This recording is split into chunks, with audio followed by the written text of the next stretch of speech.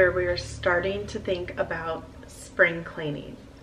However, if you have been following along with the Lady of the House method, which you can find in my Lady of the House Lifebook, and I have several different patterns available, and I am happy to announce that soon I will be having the academic Lady of the House Lifebook coming out, which will go from 2024. It will be July of 2024 to June of 2025. So that is to come if you feel like, you know, you don't want to get one just yet because maybe, especially if you are going to go with a hardcover. I mean, if you like this something blue design or any of the designs that um, you know I already have available or if you are new to my channel maybe it's something that you haven't heard of yet I have um, the cleaning schedule for the lady of the house in here. It's also a planner.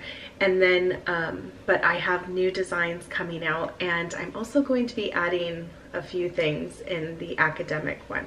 So with that being said I wanted to cover a couple of things that I'm focusing on right now that I just got done doing and then what I'm going to be focusing on in my living space well one of the living spaces. Today is living space day so I'm focusing on my windows. I know I talked about this in my community tab last week when I was not able to upload one of my videos and I didn't do it. I was close but then I just started focusing on getting the necessary things ready for company, which my dad and my stepmom and my sister were coming into town. And I talked all about the disappointments that, you know, how I handle disappointments over on Patreon because there was there were a few disappointments. Not with them, of course, but just getting things ready. And I was asked by a um, subscriber, how do I deal with disappointments? And so I just thought it was the perfect time to talk about that because I was especially feeling um, some disappointments in that time. So sometimes that's the best time to talk about it. Just causes you to reflect on it. But um, I did not get to the windows like I thought I would. But today I am feeling energized. And as we know with the Lady of the House method, when you are feeling that, you just take advantage especially when we're talking about a space such as the dining room. I just feel that, um, you know, there's really only so much deep cleaning that that space needs. So you just take it in sections. And when you do it that way, it really isn't overwhelming.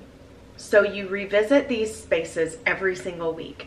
And that is something that I think makes this method very attainable. It makes it very just something that you can look forward to because you don't have to do too much in that time. When you're taking care of the everyday tasks, then you get to focus on your daily focus space. Um, you just pick something that needs to be done.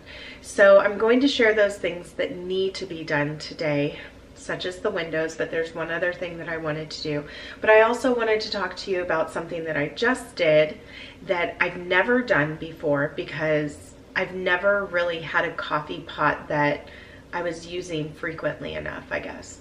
So my mom is a really big coffee drinker and I blame her for getting me really into drinking coffee because before, I would say before this last time that she has been gone, uh, for this extended time, I only drank socially. I only drank coffee socially. Um, and I have this coffee pot now and it's a white coffee pot. And I was just noticing all the gunk on the inside. I have to say with it being white, you can really see all of the coffee that has stained everything. So I wanted to descale it and I just I mean, I heard about how to do it before, but because it wasn't something that I had and did all the time, you know, it's one of those things that you forget. So I wanted to focus on something that I normally don't focus on in the kitchen. So I did that. And with everyone saying, you know, if you want to deodorize a room, use white vinegar. So I thought the best place to do this, and a big reason why I don't use white vinegar for cleaning is because my husband really hates it and he can smell it. I can definitely smell it. Yes, it goes away over time, but it's when I started doing that in the house before, he was miserable. He was just upset. He said, please do not use that to clean. He is so sensitive to vinegar. So I thought, well, I can use this because you're supposed to do uh, one part vinegar, one part water, and just run it through the coffee pot if you aren't aware of this. Run it through the coffee pot, and um, it says one, like one cycle. Well, this morning, and I, I, I went against my better judgment. This morning I just made coffee as usual, and I could taste vinegar in it. So I threw, I dumped that out and then I ended up making a fresh pot and no problems now. So I would say run it through once with the one part vinegar, one part water, and then do one part or do the whole thing of water again and everything should be fine. But I ended up putting this coffee pot in what I am calling now my morning room. We're no longer calling it an office, we are calling it the morning room. And I look forward to sharing all about this a little later on and how I came to call it this. And I think that in the new Lady of the House Lifebook that should be coming out um, in a couple of months, we are going to have the morning room as a space that, you know, we are going to do different things. I'm going to just bring back the morning room. We are bringing back the morning room thanks to the soft sophisticate who um, educated me about this space. And then I did a lot of research and I just think it it's so beautiful just to even think about, just to even say.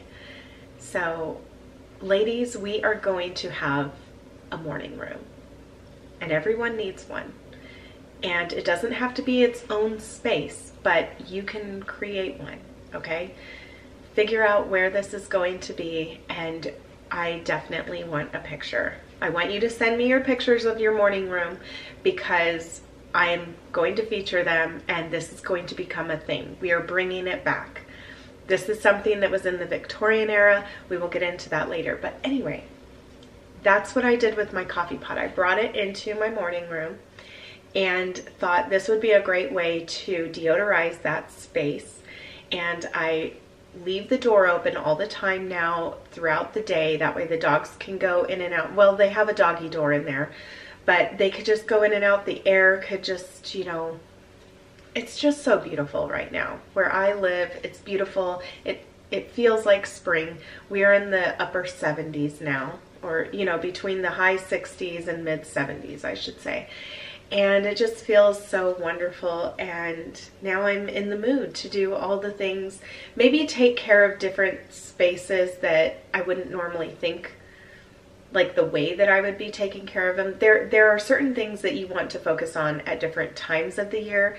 However spring cleaning all the things that you would do to spring clean make sure to work that into your daily you know, your daily routine of going through those daily focus areas. Okay. So this week it was the coffee pot. We descaled it. Feels great. I'm so happy to have done that. And my mom is about to come into town. And today's focus is really going to be about getting my mom's space prepared for her.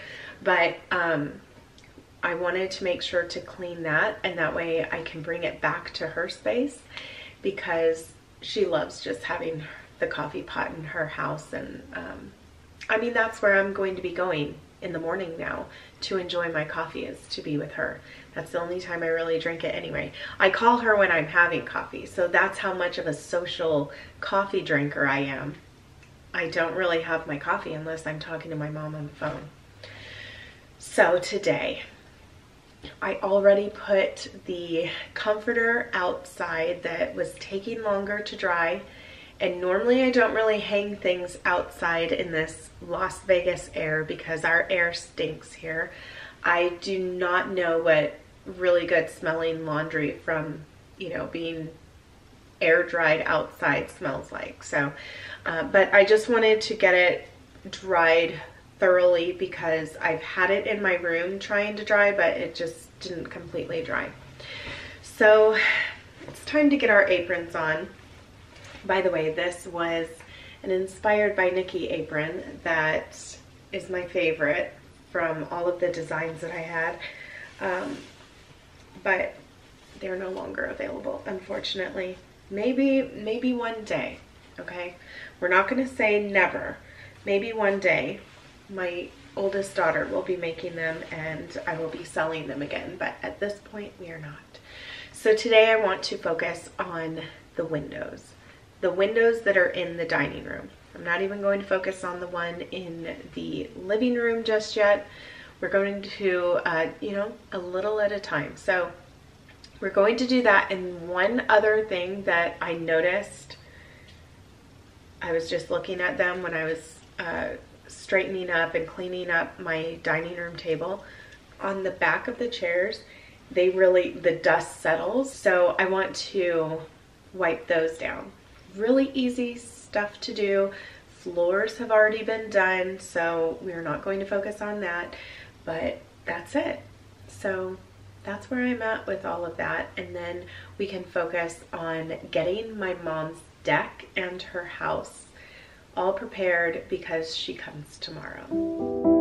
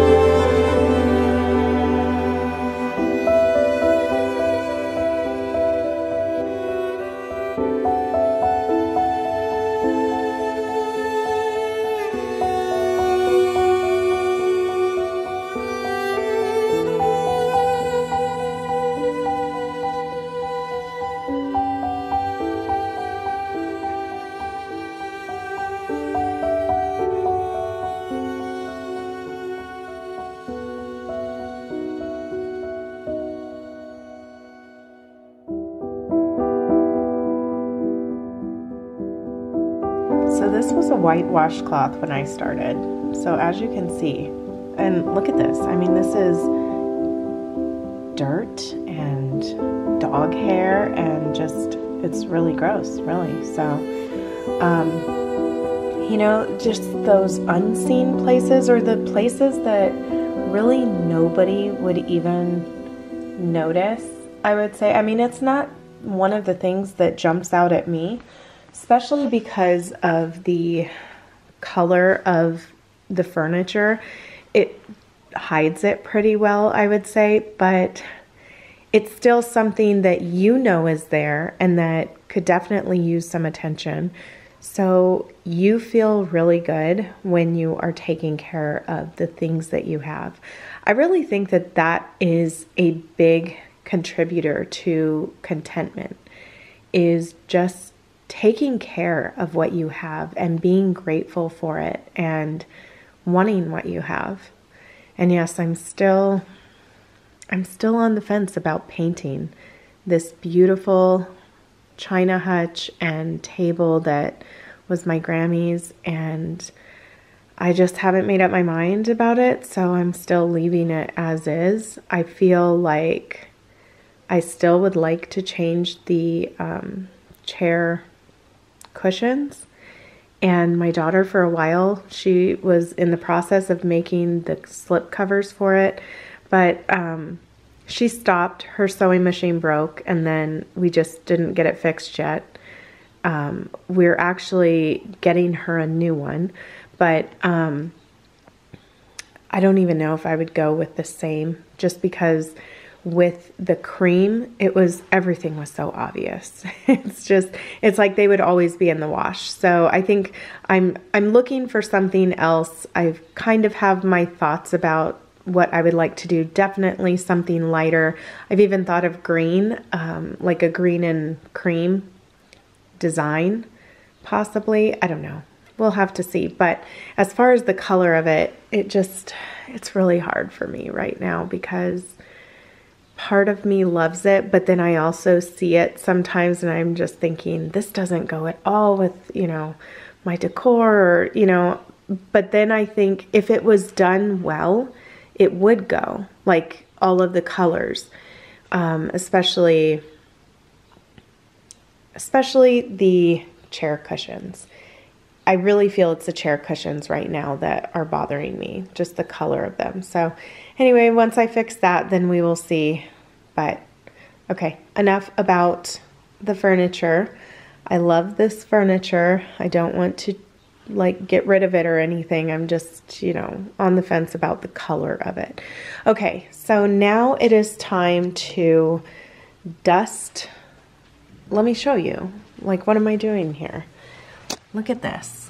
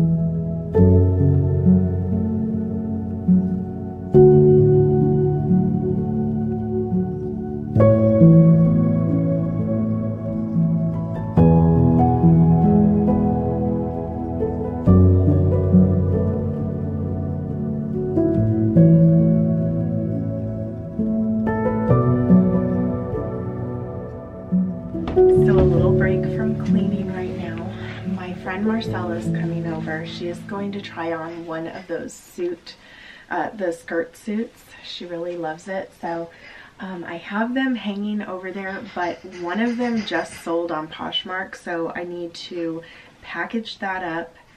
Although I want to finish the cleaning, but uh, Marcella is coming over right now. So um, I'm just going to make it really nice for her in here. She can just use my room to try it on. And then I will finish my windows once she leaves, but, um, and then I need to focus on my mom's space too. So, oh, this dress right here, this I got at Ross, okay, just recently. And there were many of them out and I was very tempted to gather all of them up and put them in my Poshmark closet. Let me know if you would like this style and um, at this point, I just don't really get many things because I don't want to have a stock of it in my, you know, and I don't have anywhere to put them, really, except for in my wardrobe. But I just don't want to have a stock of things that I am having to store right now. So, and then especially right now, it's not a good time for me to do that. But if you do like these, this particular style. I would be happy to fill my shop with it just because, or my closet with it because um, it's so pretty. I don't want to get into having too many different ones, but I also know how hard it is to find um, what you're looking for at Ross from Ross to Ross. But if you want me to be your personal shopper, I would be happy to do so. And of course, I always throw in something a little extra in the package so there is that and it would be wrapped beautifully. But anyway, she's going to be here obviously.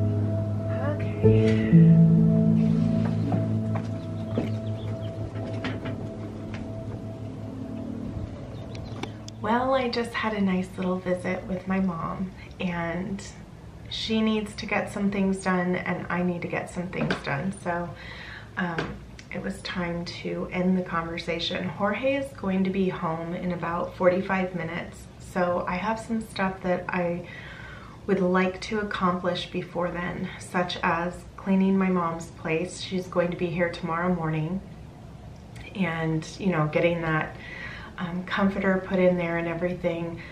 I am actually going to split this video up. This is going to be a part two over at mom's place.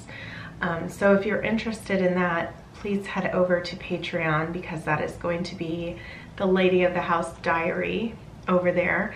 So um, I didn't get to the second window, you know, on the left side of the fireplace, but when things come up such as um, my friend coming over, she actually did purchase uh, one of the skirt suits, so I had to delete the one size from my closet, but I sold one, so I'm going to be packaging that up.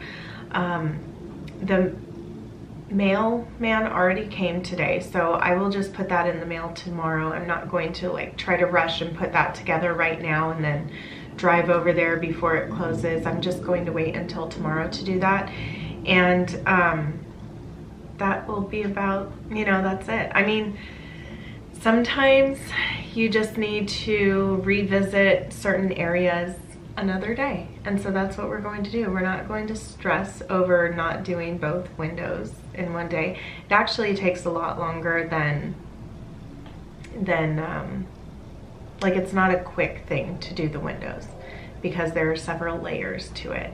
And I did clean the curtains the day before, the day before my friend came over. Um, I cleaned the curtains because I knew that that was like the last thing that was probably smelling in that space was because, you know, my little peppercorn had marked on there. But so that was done, the curtains, and then it was about cleaning like the windowsill and then the windows themselves front well both sides of them and then of course the blinds the blinds take the longest but I really do notice a difference from those windows, the older windows to the newer windows. My newer windows really don't get dust. Well, I mean, there's always a level of dust on them, but nothing like the old windows get. So those usually need more attention, but um, just let me know in the comments below what are you going to be focusing on this month when it comes to, or even just this week when it comes to the spring cleaning portion, or let's just call it detailed cleaning. But of course, um, with us going into the springtime, we tend to focus on, you know, different things maybe than we would at other times of the year. So that is what I have focused on. And if you haven't descaled your coffee pot, I hope that you've been inspired to do so, even though I didn't share with you the whole process of it. But I do want to get on a, um, like more on a routine of doing that. I could even see myself doing that maybe once a month. Um, it just, it really depends on how frequently I use it. So anyway, that is what I have for you today. Oh, we wanted to talk about the morning room, right? Well, let's talk about the morning room. So I wanted to read something to you in here. This is from Living Spaces. So how appropriate because we do talk about the living spaces. Okay, so it says, what is the morning room? In Victorian homes in the 18th and 19th centuries, there was, along with the dining room, kitchen, and bedrooms, what was called a morning room. This was a room in the house where typically the lady of the house would prepare for the day ahead. While morning room is an outdated term, the idea of dedicating a space for morning preparation can still be applied to modern homes today. I, of course, just loved um, reading all about this. How to decorate a morning room. Dedicate a space in your home for morning meditation to gather your thoughts to make the day's plans. First, choose a space with lots of windows. You'll want the natural light to flood in and wake you up. Then bring in some comfortable seating. One of the best ways to use a morning room is for the things you want to do but don't need to do. Use this space to carve out some downtime before business. If you want to follow the Victorian way, make sure to include a desk and use it every morning. You can also bring in some inspiring art to clear your head or infuse the air with an energizing citrus scent. At the end of the day, or in this case, the beginning of the day, this space is all about early morning peace, quiet, and good vibes. So I'm actually going to link the article to this in the description box below if you're interested in reading more about it. It talks about um, morning room furniture and decor ideas. Um, that's the last thing that's in there, but I'm not going to finish that out. But, um, excuse me, the Soft Sophisticate told me about this and when I read it, I was just really excited to